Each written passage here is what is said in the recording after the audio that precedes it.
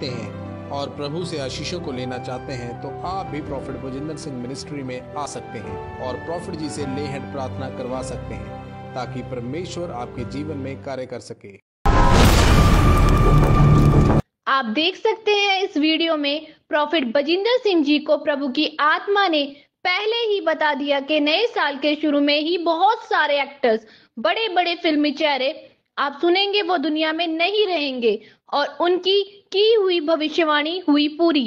दो film star बड़े बड़े चेहरे आप सुनेंगे और इस दुनिया में नहीं रहेंगे। प्रॉब्लम सारी हैं. किसान आंदोलन से सुर्खियों में आने वाले पंजाबी एक्टर दीप सिद्धू की सड़क हादसे में मौत हो गई है और ये बड़ी खबर मिल रही है कि कुंडली मानेसर पलवर एक्सप्रेसवे पर यह हादसा हुआ और हरियाणा के सोनीपत में यह हादसा हुआ। लाल किला हिंसा के आरोपी दीप सिद्धू की मौत हो गई है। सड़क हादसे में कुंडली मानेसर पलवल एक्सप्रेसवे पर हादसा हुआ है। दीप सिद्धू, लाल किला हिंसा के आरोपी की मौत हो गई है। सड़क हादसे में मौत हुई है। दो फ़िल्म स्टार बड़े बड़े चेहरे आप सुनेंगे और इस दुनिया में नहीं रहेंगे। और इस वक्त एक दुखद खबर आ रही है। मशहूर सिंगर और कंपोजर बप्पी लाहिड़ी का निधन हो गया है। वो अब हमारे बीच में नहीं रहे। पीटीआई के हवाले से ये खबर सामने आई है, जो हम आपको बता रहे हैं।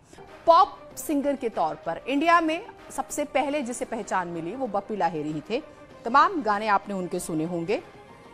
और बाद में उनकी केमिस्ट्री मिथुन के साथ बहुत बेहतरीन बनती है। और मोस्टली सॉन्ग जो है, उन्होंने मिथुन के गाए।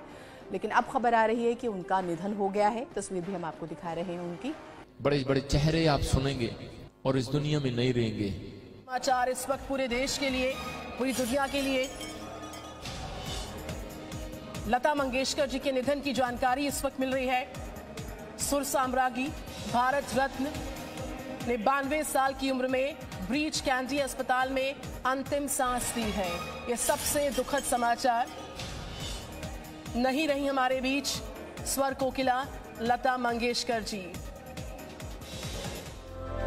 जैसे पुराने समय में परमेश्वर अपने नबियों द्वारा, न्यायियों द्वारा अपने लोगों को छुड़ाता था, आज भी अपने ठहराए हुए जनों, अपने भविष्यवक्ताओं, अपने दासों द्वारा आपको छुटकारा देता है। उसी तरह परमेश्वर ने अपने दास प्रॉफिट बजेंद्र सिंह जी को चुना है आपको छुटकारा देने के लिए। अगर आप भी अपने जीवन में छुटकारा पाना चाहते